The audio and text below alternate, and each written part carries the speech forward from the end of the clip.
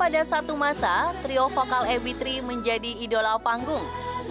Kualitas vokal Widi, Nola, dan Cynthia Lamusu bersanding dengan musisi beken era 90-an.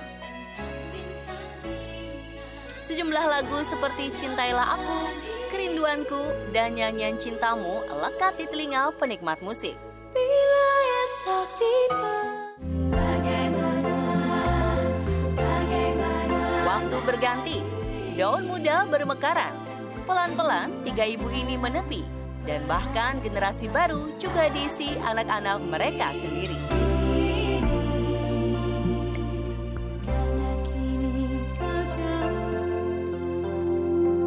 Naura, putri Nola mencuat lebih dahulu.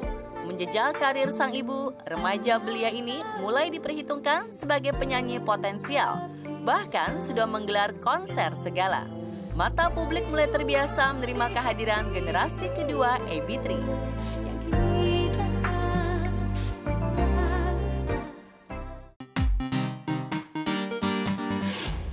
Setelah Naura, muncul satu lagi penerus AB3. Dia adalah Widuri Putri Sasono, anak kedua pasangan Widi Dwi Sasono. Berbeda dengan Naura, belia kelahiran 7 Juni 2010 memilih jalur akting, bakat yang dititisi dari ayahnya. Dalam usia yang masih 10 tahun, Widuri mencuri perhatian. Aktingnya alami dan berkarakter. Pendalaman peran sangat baik. Salah satu penegasan kemampuannya itu terlihat ketika ia terpilih bermain dalam film Keluarga Cemara, film televisi legendaris tahun 90-an yang didaur ke layar lebar. Dalam sebuah perjumpaan, Widuri menjawab lancar saat selebritas yang menemuinya. Lihat ada poster aku. Ini ada apa? Ada interview. Oke, kita lagi mau menyapa semua penonton yang lagi menikmati film Keluarga Cemara masih di dalam mereka. Mereka nggak tahu kalau kita akan me, me- Surprise. Iya, Surprise. akan ada surprise dari Ara. Yes. Oke. Dan aku guru sudah seni. nonton empat kali. Ini yang putrinya Widuri, kenalin dulu dong. Halo, ini yang aku. Namanya Eyang Dira. Tiga. nah sekarang ada di dalam studio itu ada Eyangnya Widuri yang lain, sepupunya Eyang Dira Ya, dari dari Perancis sudah mau pulang jadi eh, dia mau ngelihat permainan eh, atau aktingnya dari Widuri. Bakat Widuri memang tak datang tiba-tiba. Anugerah terbesar tentu saja karena ia terlahir dari orang tua yang berkarir di dunia hiburan. Widuri menyebut bahwa guru akting pertamanya adalah ibunya sendiri. Nah, teman-teman, guru seninya ini, guru seninya aku itu ibunya aku. Ibunya Namanya Widuri ibu- apa ibunya Ara? Ibunya Ara. Eh, ibunya Ara mah Ibunya ibunya Widuri. Namanya Widya Mulia Sunaria. Eh, senang banget Widuri ini sangat bagus ya sebagai murid ya. Gitu ya. Iya. Itu Satu dikali satu dua. eh, guru matematika apa guru seni sebenarnya? Dua-duanya. Tapi Widuri ini benar-benar membanggakan saya dan eh, Mas Dwi gitu ya. Karena kalau banyak orang bilang bahwa wah bakatnya nih nurun dari ibu bapaknya. Alhamdulillah betul. Tapi bakat tanpa kerja keras tanpa ada dukungan dari semua tim yang yang membuat ini sukses juga percuma. Jadi buat saya ini keberhasilan bersama kebanggaan yang yang sangat komunal gitu ya. Yang membuat saya senang adalah bahwa Widuri ini on screen ataupun off screen menjadi eh, se- seorang pribadi yang menyenangkan. Meski sang ibu disebutnya sebagai guru pertama, sejatinya dari akting Dwi Sasono lah yang mengalir pekat dalam tubuhnya. Bahkan sang ayah sudah yakin kalau anaknya akan mewarisi bakatnya. Sebelum nunggu, ini ada Bapak Dwi, ada Bapak aku. Ih, kamu kamu kan Ara ya? Iya. Ya Allah, aku ngefans banget sama kamu. Bapak Duinya mana sama Bu Widinya? Oh ini.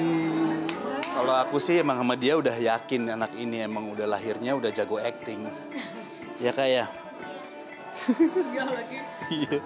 Justru malah kadang-kadang aku yang dapat dapat inspirasi tuh dari dia. Emang ya aku lebih ngajarin dia sih, lebih ke apa ya?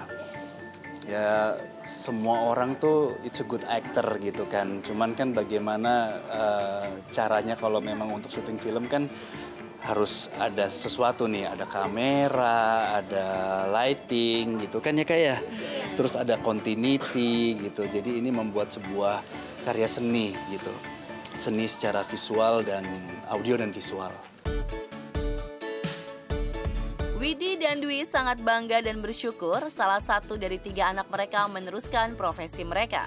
Dipercayanya Widuri memerankan salah satu tokoh sentral di film Keluarga Cemara seperti menjadi kado terbesar yang mereka terima memasuki tahun baru 2019.